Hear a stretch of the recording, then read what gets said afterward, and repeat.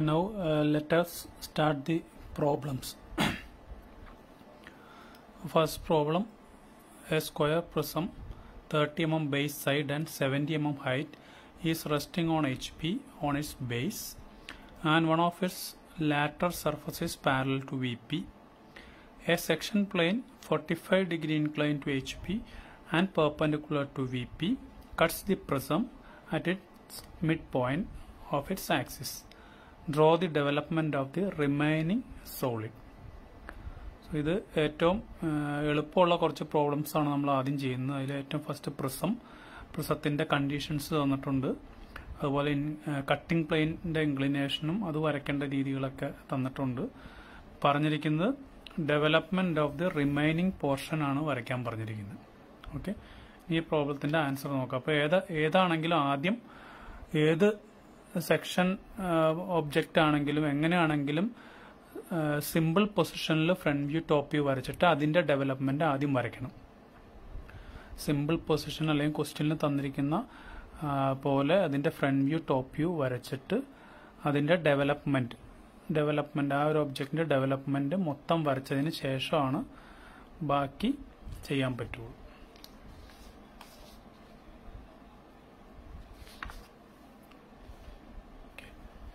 അപ്പോൾ ഈ കണ്ടീഷൻ അനുസരിച്ച്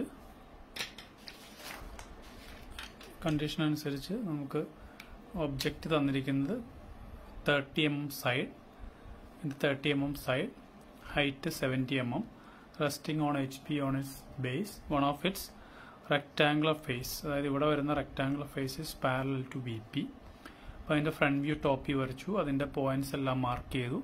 അതിനുശേഷം അതിന്റെ ഡെവലപ്മെന്റ് അതായത് എന്റയർ ഒബ്ജക്റ്റിന്റെ ഫുൾ ഒബ്ജക്റ്റിന്റെ ഡെവലപ്മെന്റ് വരച്ചു. അത് മാർക്ക് ചെയ്തു. ഇനിയാണ് അടുത്ത കണ്ടീഷൻസ് എടുക്കേണ്ട കണ്ടീഷൻ പറഞ്ഞിരിക്കുന്നത് object cutting plane is forty five degree incline to H P and perpendicular to V P നമ്മൾ സെക്ഷൻ ഓഫ് സോളിഡ്സ് നമ്മൾ ചെയ്തതാണ്. അതുപോലെ തന്നെ ഇതിൽ കട്ടിംഗ് പ്ലെയിൻ വരയ്ക്കാം. കട്ടിംഗ് പ്ലെയിൻ പാസ് ചെയ്യുന്നത് ആക്സിസിന്റെ മിഡ് പോയിന്റ് ആക്സിസിന്റെ മിഡ് പോയിന്റ് കൂടിയാണ് പാസ് ചെയ്യുന്നത്. ആ മിഡ് പോയിന്റ് കൂടെ ഫോർട്ടി ഫൈവ് ഡിഗ്രി ഇൻക്ലിനേഷൻ വരുന്ന രീതിയിൽ നമ്മൾ കട്ടിംഗ് പ്ലെയിൻ വരച്ചു.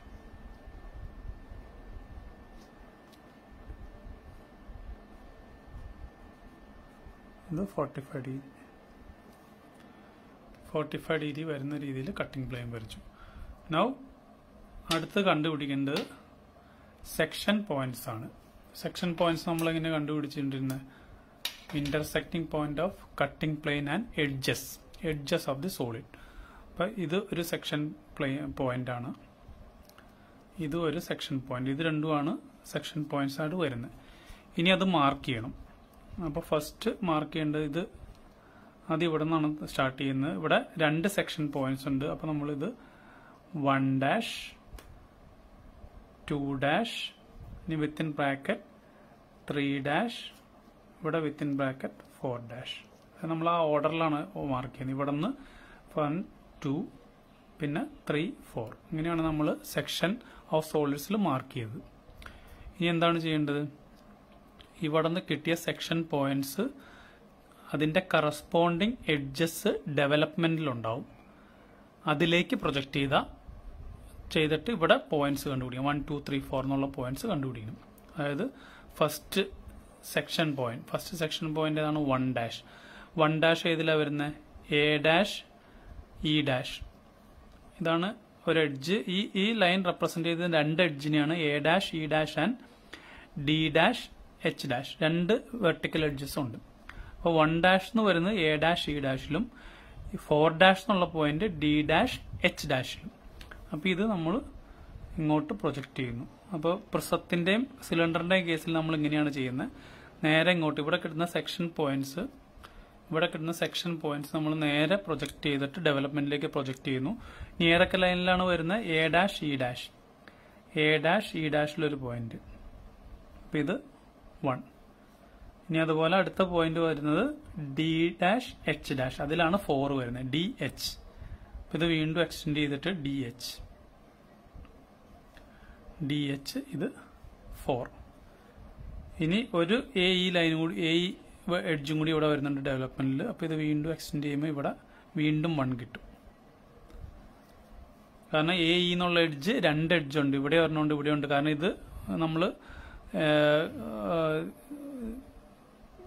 മടക്കി കഴിഞ്ഞ് ഈ സെയിം പോയിന്റ് ഈ ലൈനും ഈ ലൈനും ഒരേ പോയിന്റിൽ വരും.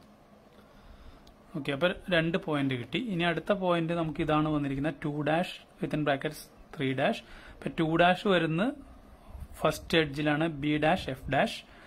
Three dash വരുന്നത് സി ഡാഷ് ജി ഡാഷ്. ഇതുപോലെ തന്നെ ഇത് ഇങ്ങോട്ട് എക്സ്റ്റെൻഡ് ചെയ്യുന്നു. ഇതിലേക്ക് വരുന്ന ഫസ്റ്റ് ടു ഡാഷ് എന്നുള്ള point B F line B F എഡ്ജിൽ ടു വന്നു. ഇനി വീണ്ടും എക്സ്റ്റെൻഡ് ചെയ്ത അടുത്ത് സി ജി സി ജി ഇതാണ് സി ജി ഇതിൽ ത്രീ വന്നു. അപ്പം നമുക്ക് എല്ലാ പോയിന്റ്സും കിട്ടിയ ആകെ നാല് സെക്ഷൻ പോയിന്റ്സ് ആണുള്ളൂ. വൺ ടു ത്രീ ഫോർ നാല് സെക്ഷൻ പോയിന്റ്സ് ആണ് ഉള്ളത്. നാല് സെക്ഷൻ പോയിന്റ്സ് ആണ് വരുന്നത്. ആ നാല് സെക്ഷൻ പോയിന്റ്സ് നമ്മൾ ഡെവലപ്മെന്റിൽ കിട്ടി. പ്രിസത്തിന്റെയും സിലിണ്ടറിന്റെയും കേസിൽ നമുക്ക് ഇവിടെ കിട്ടുന്ന സെക്ഷൻ പോയിന്റ്സ് നേരെ പ്രൊജക്ട് ചെയ്യുക ചെയ്യുന്നത് കാരണം നമ്മൾ അതേ ലെവലിൽ തന്നെയാണ് ഡെവലപ്മെന്റ് ലാറ്റർ സർഫസിന്റെ ഡെവലപ്മെന്റ് വരയ്ക്കുന്നത് ഇനി എന്താ ചെയ്യേണ്ടത് ഇവിടെ കിട്ടിയ പോയിന്റ്സ് എല്ലാം ജോയിൻ ചെയ്യുക. ഇവിടെ കിട്ടിയിരിക്കുന്ന പോയിന്റ്സ് എല്ലാം ജോയിൻ ചെയ്യുക. അതായിരിക്കും ഇതിന്റെ development one two two three three four four one. ഇനി റിമൈനിങ് പോർഷൻ അതായത് ഇത് കട്ട് ചെയ്ത് കളഞ്ഞിട്ട് ടോപ്പ് പോർഷൻ റിമൂവ് ചെയ്ത് കളയും. അപ്പോൾ റിമൈനിങ് പോർഷൻ വെച്ച് ഇതായിരിക്കും ഇതിന്റെ ഡെവലപ്മെന്റ് വരയ്ക്കാനാണ് പറഞ്ഞിരിക്കുന്നത് അപ്പം ഇത് ഇതാണ് ഇതിന്റെ റിമൈനിങ് ലാറ്റർ സർഫസിന്റെ ഡെവലപ്മെന്റ് ഇനി ഇതിന്റെ ബോട്ടം സർഫസ് അപ്പോൾ ചില ക്വസ്റ്റ്യനിൽ നമുക്ക് draw the development of the lateral surface എന്ന് മാത്രമേ പറയുള്ളൂ. ആ കേസിൽ നമുക്ക് ഇത് മാത്രം വരച്ചാൽ മതി. ചില കേസിൽ draw the development of the whole remaining solid അല്ലെങ്കിൽ റിമൈനിങ് സോളിഡ് എന്ന് പറഞ്ഞു കഴിഞ്ഞാൽ അതിന്റെ താഴത്തെ ബേസും കൂടി വരയ്ക്കേണ്ടി വരും.